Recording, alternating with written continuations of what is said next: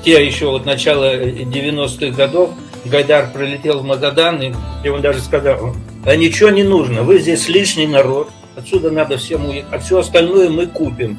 Могут ли наши народы Крайнего Севера, молодежь, быть военнослужащими в так называемых наших арктических войсках?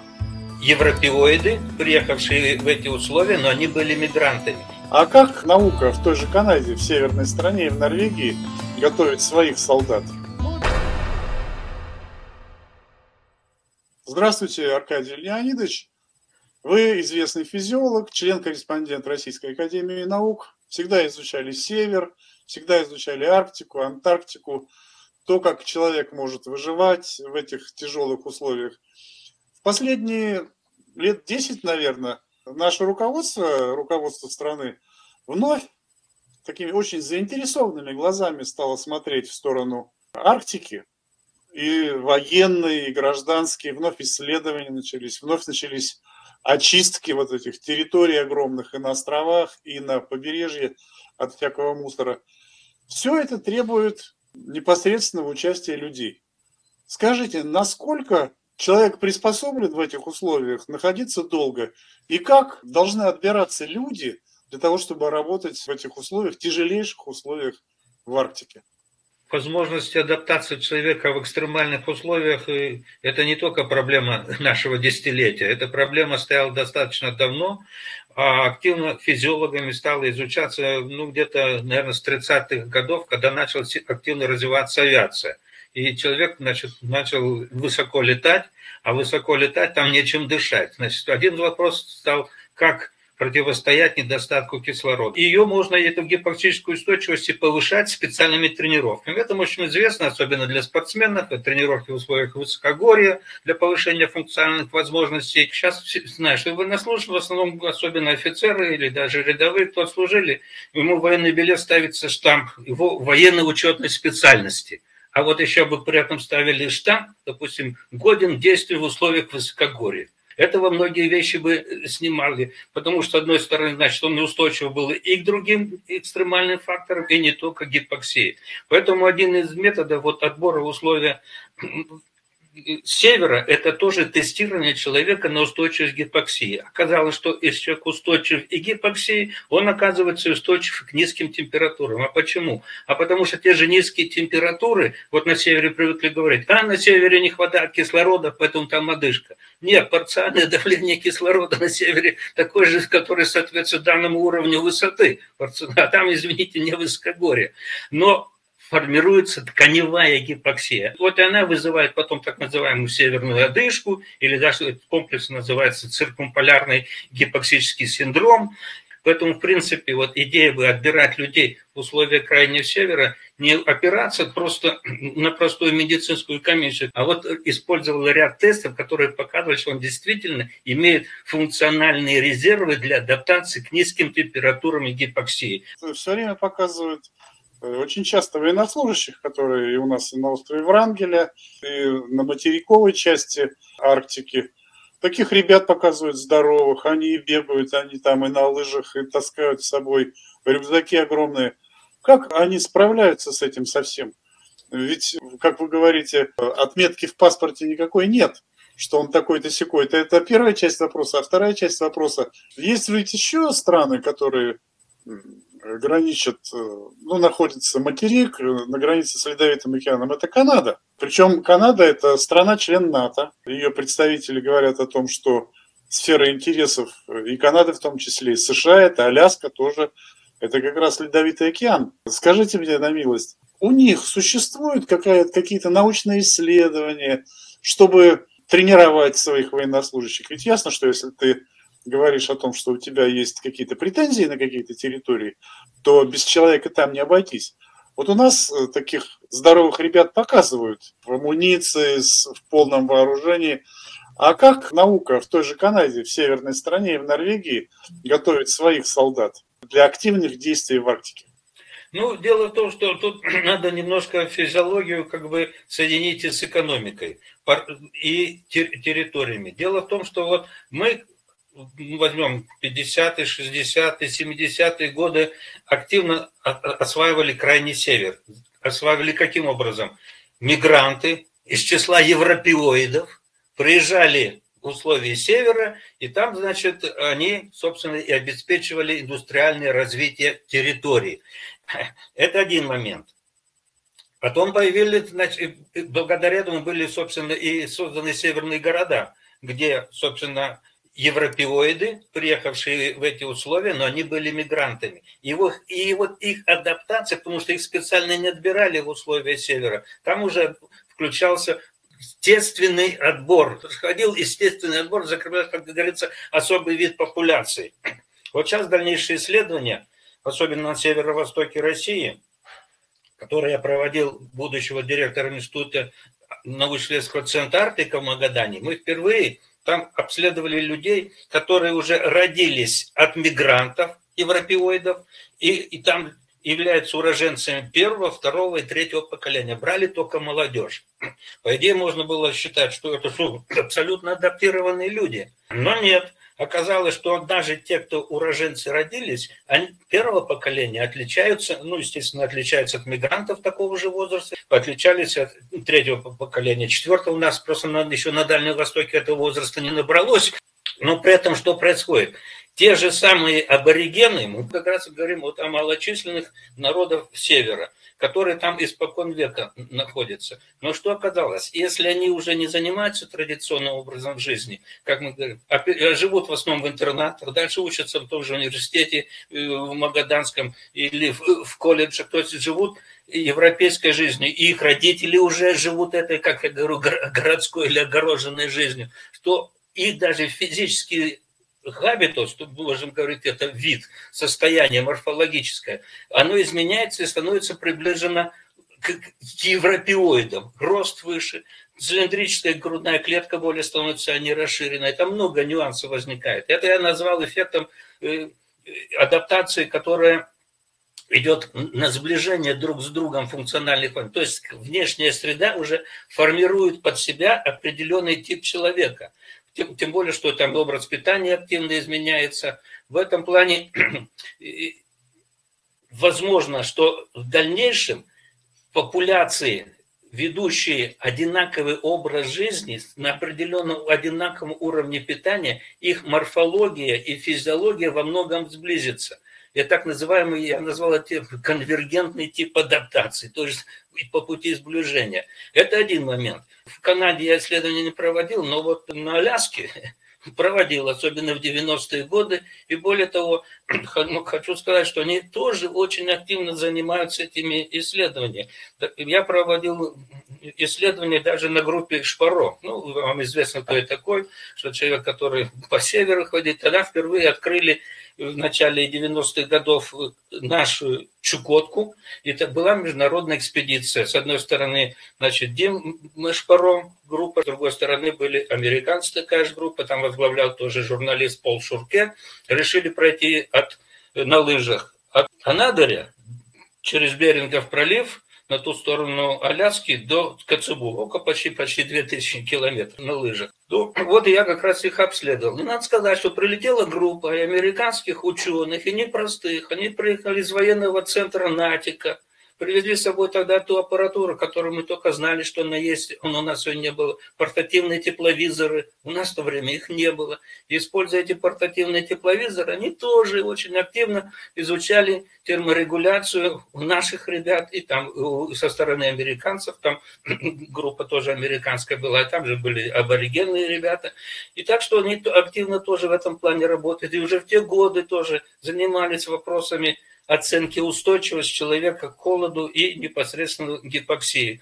Так что другое дело, что мы контролируем громадную территорию северную, особенно экономически важную, это вот э, Северо-морской путь. На Западе был другой вариант. Там большие территории находятся под аборигенной юрисдикцией. Им за это даже федеральное государство доплачивает что-нибудь. И они там не хотят никого других видеть в этом ситуации. А у нас эти территории индустриально обслуживаем должны было обслуживать европейское население. Так вот сейчас снова попытка закрепить население, один из моментов – это действительно, во-первых, отбор гипок, гипоксических холодоустойчивых популяций, это раз. Во-вторых, преференции должны работать не так по пути, как раньше было в советское время. Вот тебе доплачивают за первые несколько лет, пока ты там как бы адаптируешься, а потом с себя это все снимается. Нет, это должно быть тоже по-другому выстроено. Тогда в этом случае мы закрепим, будем закреплять уроженцев севера – который уровень адаптации значительно будет выше, и их можно будет, его можно будет поддерживать, управляя именно физиологическими методами. Я знаю, что есть такие бойцы, которые служат в британских войсках. Они из высокогорья, они очень выносливые. А почему у нас не используют для службы в армии вот местное население э, северное? Это же очень выносливые люди. Но я знаю, что они освобождены от службы в армии, но Одно дело освобождение, другое, если вдруг они сами захотят. Потому что я знаю, что молодежь часто очень хочет послужить в армии и мир посмотреть и все такое прочее. Как вы думаете, могут ли наши народы Крайнего Севера, молодежь, быть военнослужащими в так называемых наших арктических войсках? Я вообще считаю, что никаких противопоказаний для этого нет с точки зрения э, физиологии. Другое дело, если тут существуют какие-то э, особенности сохран...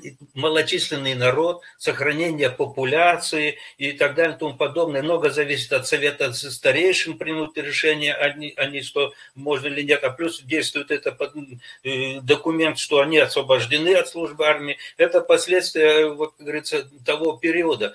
В наших особых геополитических условиях, я думаю, моменты должны быть пересмотрены. Если человек по состоянию здоровья – в принципе, и собственному желанию добровольно желает служить в рядах э, армии и более за это иметь дальнейшие серьезные преференции, я думаю, что это была бы правильная политика.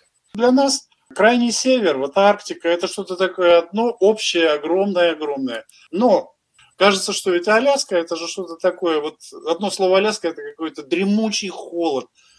Так оказывается, что Анкоридж-то находится на широте Ленинграда.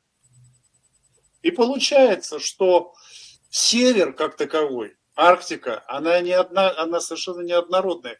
Скажите, какие есть места районирования вот этих северных территорий и чем они отличаются? Нельзя судить только по широте. Когда люди узнают, что Магадан он южнее на 200 градуса, чем Петербург, тут же да не может быть. Я говорю, да, а что тогда нам северные не платят? Что Арктика различна. Помимо того, что там различные течения, я имею в виду географические, есть холодные течения, омывающие определенные территории. Мы прекрасно знаем, не замерзающие наши порты у нас на севере, а с другой стороны потому что они как раз захвачены гольстривом. А есть холодные течения у нас на Дальнем Востоке, и тогда, которые как раз наоборот. Это первый момент, который влияет чисто температурный фактор. На одинаковой широте температурные факторы и атмосферное давление, и количество ветров, оно совершенно разное. Плюс так зона, так называемая, охлаждение уже в зимний период, когда, собственно,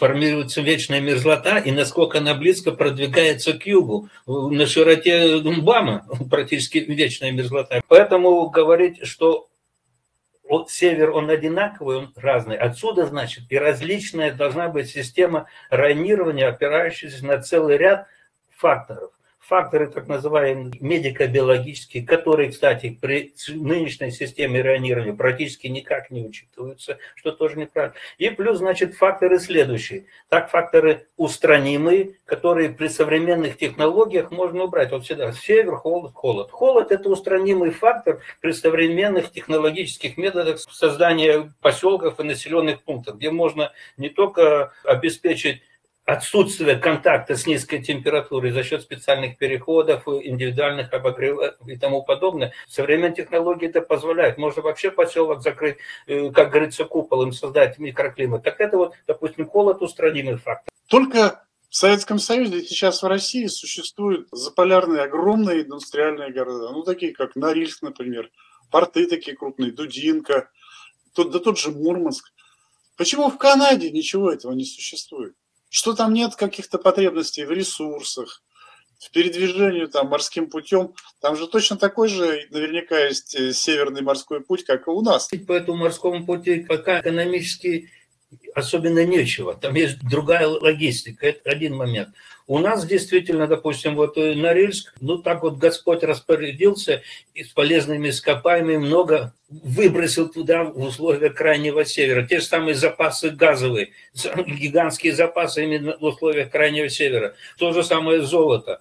Я помню, когда в те еще вот начало 90-х годов Гайдар прилетел в Магадан, и он даже сказал, а ничего не нужно, вы здесь лишний народ, отсюда надо всем уехать, а все остальное мы купим. Вот такая была смешная политика, закрепляя север. Его нужно закреплять и экономически. А экономически было понятно, городообразующими факторами что было? Было как раз горнодобывающая промышленность. Так оно распределилось. Если бы это все было в южных районах, я думаю, что особенно на север не полезли. Но так наши геологи, собственно, работали нашли, что эти полезные ископаемые здесь, но надо их по возможности, естественно, было и использовать. Тем более, что они пользовались гигантским спросом, не уже не говоря о золоте.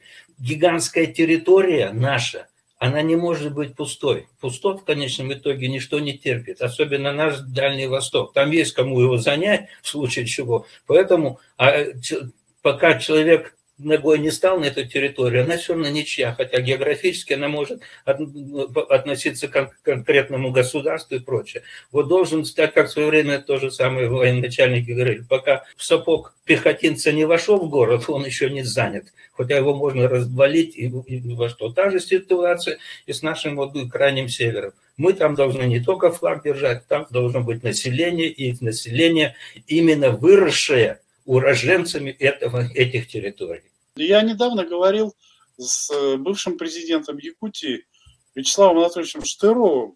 Он также был еще и президентом знаменитой Алмаза России, Алроса. Да. Восстанавливал из пепла это огромное предприятие. Так вот, наш разговор был о том, что по существующему проекту, вот от Северного Урала, от Северного Урала, вплоть до Магадана планируется строительство железной дороги. Точно. Для того, чтобы формировать портовую зону вот на этой территории, поскольку э, территория может э, существовать только там, если где есть морские порты.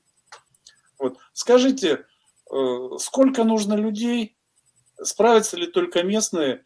Вот вы как физиолог можете сказать, возможно это или нет? Потому что, например, если бы мы говорили о э, колонизации Марса или Луны, где тоже условия жизни не очень хорошие, я бы вас тоже спросил, а люди-то с этим справятся? Ну, если не, не миллионы людей, то хотя, по крайней мере, это сотни тысяч людей, строителей и те, кто туда едет. С точки зрения физиологии могу сказать, что проблемы не будет. В свое время такая ситуация была с БАМом, когда начали его строить. Я там проводил исследования на БАМе.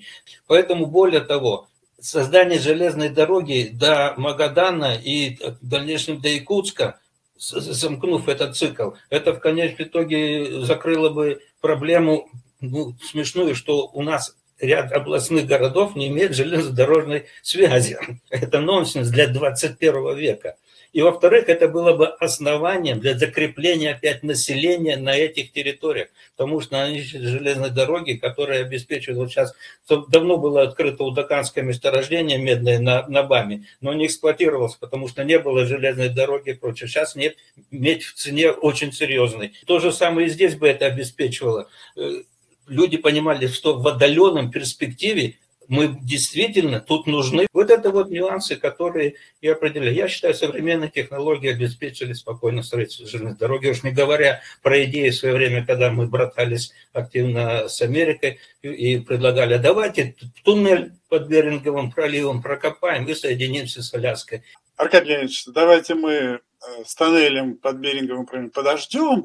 Политика Соединенных Штатов сегодня непредсказуемая и они могут через этот тоннель нам всякой гадости сюда нагнать. Поэтому давайте мы подождем до лучших времен, когда власть в Америке станет адекватной, и тогда уже мы все вместе, дружно, взявшись за руки, будем строить или мост через Берингов пролив, или тоннель.